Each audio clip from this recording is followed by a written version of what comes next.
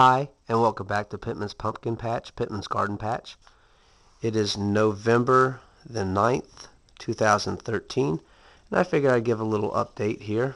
I am in my garage with my uh, experiment where I'm growing tomatoes and peppers uh, indoors under the grow light and just see if I can, you know, get fresh tomatoes and, uh, you know, fresh peppers and things like that during the uh, fall and winter season.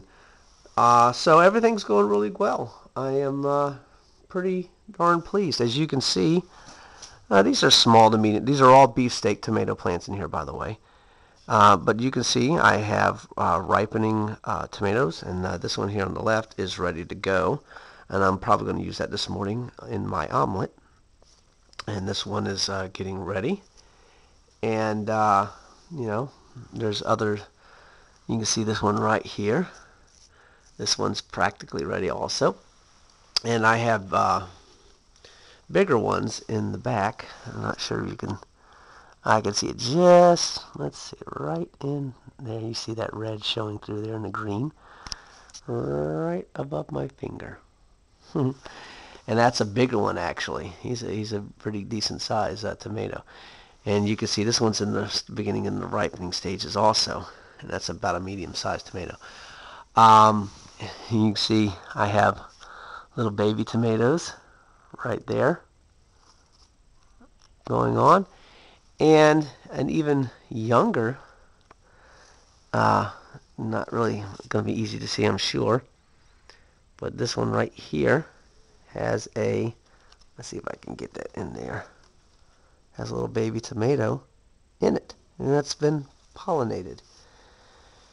And uh, so I have a lot of uh, new growth going on, the flowers opening up and everything. You can see, uh, so I have all different stages of the plants going on here. Um, you can see the yellow flowering and everything. And uh, looks like that big green one back there next to the one that's ripening.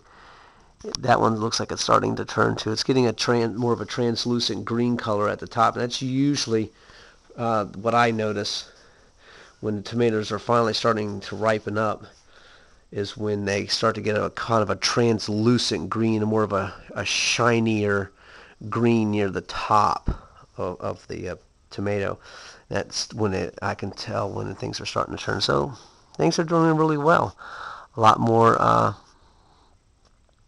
like I said, flower blossoms growing and opening up. For a while there, they stopped. Uh, the, uh, they stopped producing flowers and I believe, again, that that was because the plants had enough uh, tomatoes uh, on them growing and it couldn't support anymore.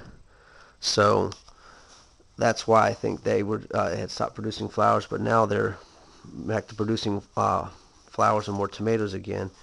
Let's take a look down here at the pepper plants that I've got going on. Um, get see if we can get down in here under the top of the canopy. So I have these are just regular California bell bell peppers, and uh, these are getting ready to need another pruning job on them sometime this weekend, where I will uh, come in here very carefully, pick out, um, you know, maybe two or three sets of leaves, and leave those be, or excuse me, two or three sets of leaves, and probably uh, snip them off and do some pruning, so that the lateral shoots will continue to come out, will, will force them to grow, and uh, then produce you know even more leaves and more leaves, and so, so it looks like some of it's trying to flower, and I'm not. I don't think I'm quite ready for them to uh, flower yet. You can see down in here, um, you know, they're, they're getting the little flower heads on them and everything on both of them. So I don't want them to do it, but I mean, these are extremely healthy so this again, this was a method done by Praxxis, and I can't remember all these other numbers he has on his uh, YouTube channel. But um, I'm doing using this method where he, you know, he snips off the main stem after eh, with two or about a couple sets of leaves on him snips off the main stem, forces the lateral shoots to start to grow. So you get a lower, um, lower growing pepper plants, more bushier, and um, more bushy and it you know gives supposed to give you a bigger yield, stronger root system, uh, thicker stems to support all of that. And so, you know, that's what I'm doing. It seems to be working pretty good. Um, no surprise. and, um, you know, so these are my healthiest pepper plants I've had ever. So I'm loving it. So anyways, um, I will take you out to the backyard and uh, just kind of update you what's going on back there. Not, I don't know there's a whole lot of change, but uh, just figured I'd give a quick little update. See you in a minute. All right, so here we are in the backyard garden, and uh, I am in my uh, raised bed that has the uh, mushroom compost that I've been bragging about. And uh, just the other day, I uh, emailed the owner who uh, distributes, has a West Coast distributor and an East Coast distrib- distributor. Excuse me. And um, I was telling him how amazing my plants were doing, and he he he was so happy, of course, and you know he he wanted to use my my testimony, if you will, to uh, further promote the product. And I was like, go for it. I mean, because the proof is in the pudding, my friends everything is just growing so great in here. Like I've said in my past videos I mean this cabbage here and this is the uh, Bonnie hybrid cabbage is doing really good. I mean excellent. There's a small head forming inside it's getting tighter inside and then the same's happening to the other ones as well. Here is uh, the Parris Island uh, lettuce in there that's doing better in this bed than any other. You know some plants are doing of course better than others, but this is starting to form up a, a nice head. Uh, starting to get tighter leaves in there. And, uh, you know, you just stick your hand down there and you can feel the, the uh, head of the cabbage starting to form inside. So, I mean, it's just a, a wonderful product. A wonderful product. And um, let me show you some of this Packman cabbage. Look at that. Let's see if I can, it's hard for me to, there we go. Head of the cabbage right here. I mean, head of the cabbage. Lord help me. Uh, the broccoli head right there, look at that. It's about the size of a, of a fist. You know, it's a good size of a fist. And, um, you know, this is probably going to be harvested real soon. You just kind of keep an eye on it and see how it's, uh, how it's progressing. And you know, here's another about half a fist size, or three quarters of a fist size uh, head right there. Oh God, look! Oh, I see one bigger over, way over there. Oh my gosh, I'm gonna have to just I'm gonna have to go over and check that out. But another, you know, medium-sized head right there so far. Here's a smaller one right here. So it's it's I have them at different stages, but I got a lot of broccoli. This is all Packman broccoli, and uh, you can see the heads. Uh, right there. And uh, oh, look, there's a little baby one, little teeny tiny one. So they're all in different stages. Now let me go over here and see this one. If I'm not mistaken, that was pretty massive. It's going to be a little hard for me to... There, there we go. Maybe I can get to it through here. Look at the size. Oh, God, that's... Wow. That's massive. Hopefully this is getting... Uh, let me see if I can bring it up a little higher because I'm, I'm just trying to move things back out of the way. Yeah, right in there. Look at that head of that broccoli. Man, that is, that is well. There's, hopefully this is getting it. There's my fist right there. And that thing is over the size of my fist. It's like an Andre the Giant kind of uh, head of broccoli. Wow. Man, is that going to be awesome. That's got to be about ready to go. So that tells me that I was thinking that other one I just showed you, the on the other side that was really good. I was thinking that was ready to be harvested. If it's going to get, that's almost double the size of the other one. So I need to hold on a little bit longer. Here's a, another head right in here, about a small fist size. Wow, that is awesome. And there, right down in there, there's that um,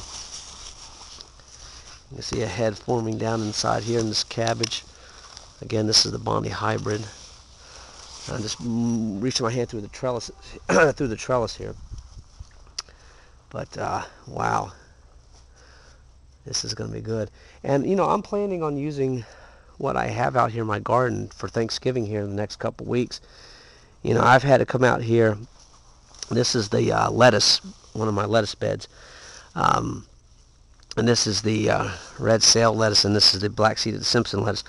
And um, you can see right here, uh, this is where I've had to come out and break off the main stem because it was bolting. I think it was it was nearing bolting uh, stage, which was, was going to go to its flowering.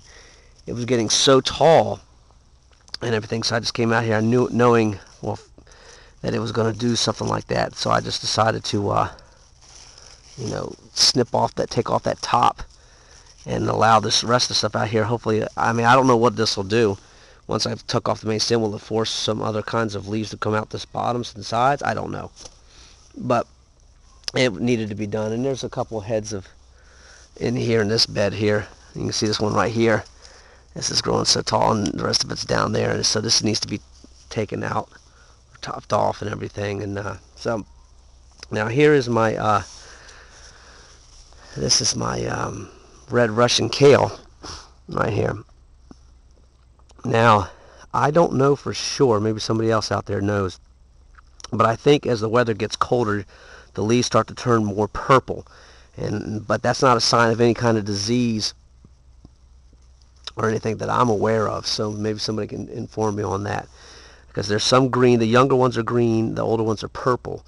Does the purple indicate that the leaves are ready to be picked and used, that they're at their peak?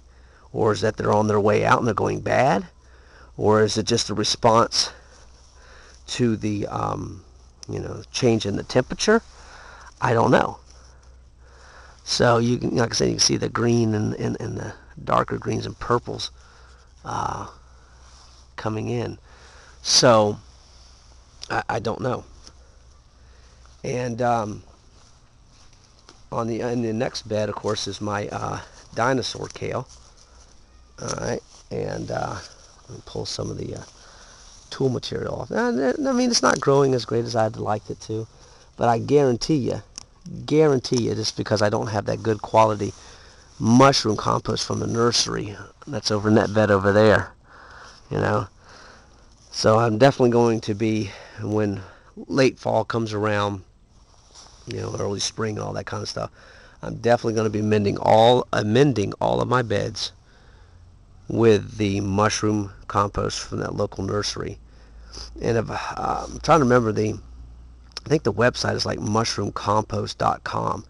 And uh, it on the their home webpage, it comes up showing some kind of West Coast distributor, East Coast distributor.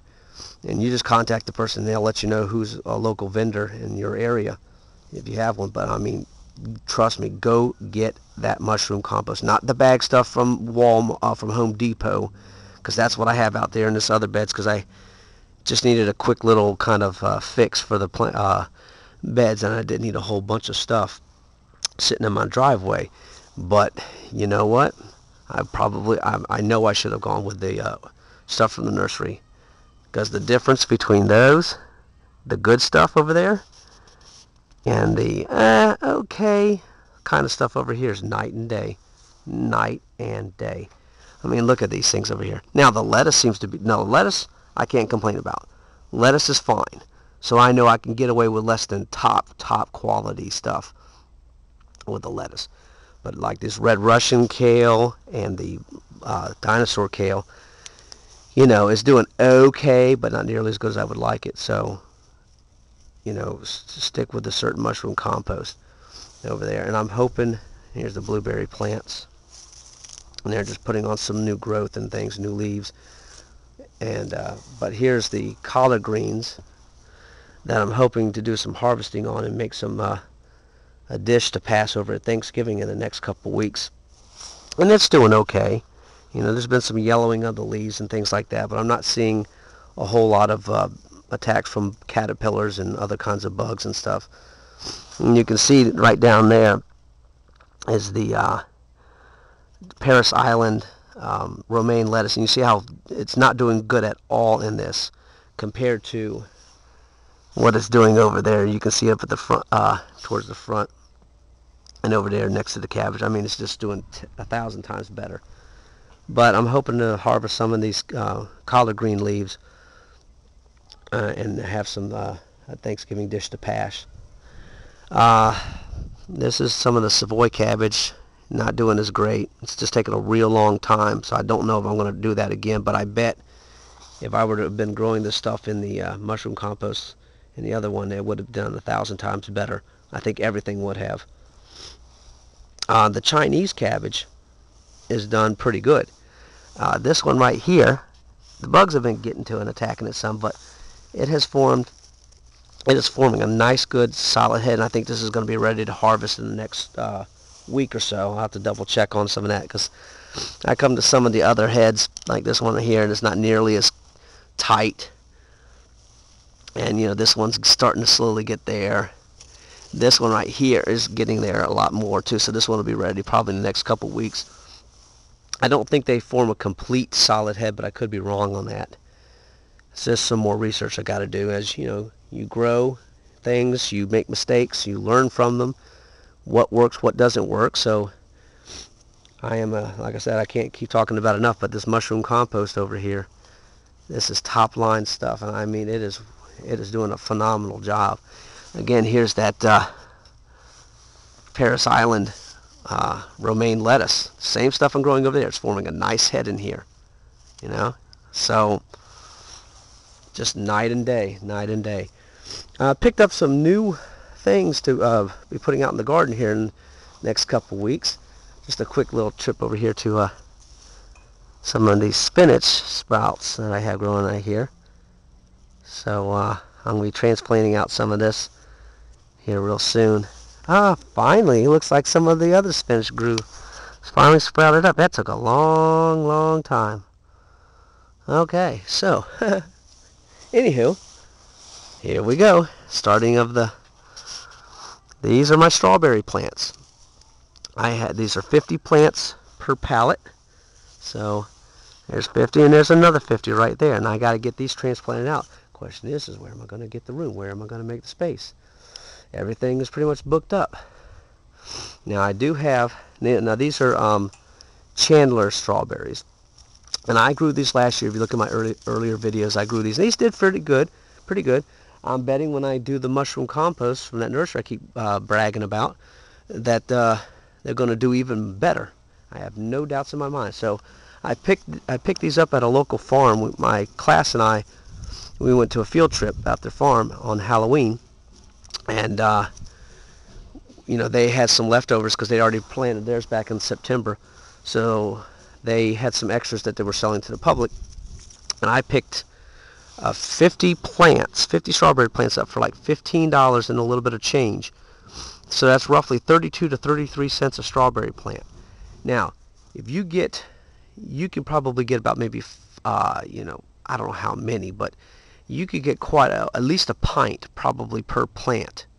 You go to the grocery store and you try to find strawberries and they get one of those little plastic containers. You get about a pint of it and you're paying about five bucks for a pint. This is 32 cents a plant, giving me about a pint per plant, roughly, you know, give or take a little bit, you know. Um, and so, you know, I'm buying food and I'm saving in the long run you know, there's 50 plants, you know, 50 pints. So if you do 50, you know, 50 pints times 5, that's $250. And I got this for $15 and a little bit of change. So there's huge savings right there. $250 worth of strawberries you can go buy at the grocery store or spend $15 and some change. And yeah, you got to do a little extra things like soil and, and things like that. But, you know, once you got your stuff set up, you just add a little bit of minimum. You're saving in the long run too. So it's a, a short-term investment for long-term financial payback. Plus, you're getting the health and nutrition that you're growing your own, and you know what's going into it when you're doing things organically, like I'm doing. Um, these two buckets, nothing really going on there. I gotta get in here and get these um, blueberries. I got two blueberry plants hiding in amongst all the nasturtiums and all the marigolds and everything else. And I gotta get them uh, put out in one of these big fabric uh, smart pots that my blackberries, uh, blackberry plants are in. So the shadow, as you can see, is creeping in on my uh, on my yard. There's the big old 10-foot stone uh, concrete wall that the city put up as a sound barrier because um, they're doing road construction on the other side and put, extending a road and you know connecting it all together from one end to the other. So gorgeous day. It's about 55 degrees out, you know, so the seasons are changing. The seasons are changing, but it feels great. Uh, looks like I might be having some broccoli tonight or the next night or two. This is totally awesome. I am I love the whole gardening experience. It's very therapeutic. It's very, you know, just when you come home from that long day of work and you're just tired of doing whatever it is you're doing, you know, it's nice to come out to something that you enjoy doing. It's peaceful, it's quiet, you can do it by yourself. You know, you can get the family involved or whatever. And you know, these are things you can pass down to your uh, to your kids and everything, and then hopefully they'll pass it down this more of a self-reliance, take care of yourself kind of uh, attitude. You know, I'm not a big, obviously, fan of the government kind of thing like that. You know, government helps in certain areas. There's no doubt about it. And uh, but you know, for me personally, if I can get myself off the radar, the government's radar, the better I like it. The more sustainable I am for myself and my family, the better. My ideal situation, get a bigger place where I can grow more and more food for my family and myself, healthier food, better nutrition. And so I'm not so when the gasoline prices go up and the and it causes your food uh, grocery bills to go up, mine hopefully won't go up nearly as much or not at all because I'm more sustainable. Plus, I'd like to get a, a, a house where I can put solar paneling on. I know it's a lot of expense up front, but solar paneling so I can get off the uh, the city's power grid and have my own stuff. So, you know, that's my ultimate goal that I'm working towards. And gardening is the start of it all. And I'm learning all these things. I wish I would have started when I was younger. You know, I'm about 42 years old right now. I wish I would have started back when I was 20 because gosh knows how long, uh, where I could be right now in my life. But I'm happy that I, am doing this now. And uh, I encourage everybody else out there to uh, do the same. Start doing more for yourself and taking care of your own self and family. And of course, give to others when you can. You know, like I said, I plan on sharing some of my harvest with the family at Thanksgiving and stuff like that. And, you know, I encourage everybody to do the same. Don't mean to get too philosophical and everything with everybody, but, you know, become more self-reliant. Take care of business at home. You know, start growing your own garden. Get off the power grid if you can afford to do so. And get some solar panels and start, you know, using nature's resources that's provided for you and, and, and work with nature, not against it. You know, do what do what you can. Okay, so this is from Pittman's Pumpkin Patch, Pittman's Garden Patch. I will talk at you later and keep on growing and keep on living life to the fullest every day. Bye.